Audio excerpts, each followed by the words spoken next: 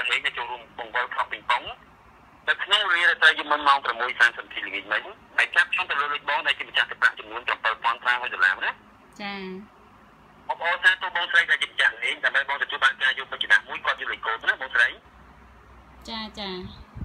បងស្រីយកបច្ចុប្បន្នមួយបងស្រីហើយដែលខាងសមត្ថភាពការទីផ្សារសិនបងស្រីណា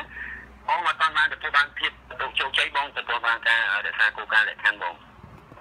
ចាចាបងស្រីយកបច្ចុប្បន្នបង ចាបងយកបច្ចុប្បន្នមួយសិនបងចាយកហើយអូនតាមបងស្រីអញ្ចឹងបងស្រីដើម្បីឆែកយកលេខកូដបងស្រីដែលជាលេខកូដគាត់បង្កល់ទៅលើបងជាម្ចាស់ទឹកប្រាក់ណាចាបងធ្វើការចុចទៅក្នុងទូរស័ព្ទបងតាមខ្ញុំចុចផ្កាយកាយ4 3ដង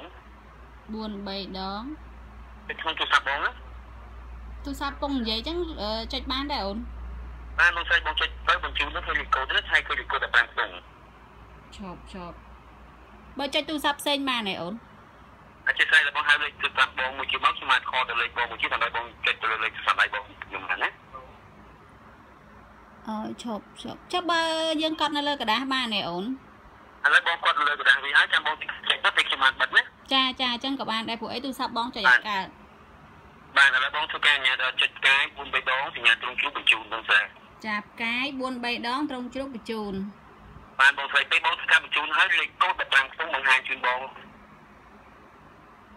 ចាស្ដាប់បានបងចាស្ដាប់បានអូន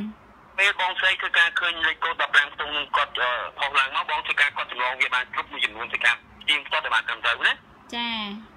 អូខេហើយបងតិចតំណែងតំណងមកលេខឆ្មាវិញដើម្បីឆ្មាឲ្យបងខលទៅកាន់ខាងធនាគារអេស៊ីតាមណាចាចាបាទជំរាបលាបងស្រីធ្វើការរួចរាល់បន្តិចខ្ញុំសូមជម្រាប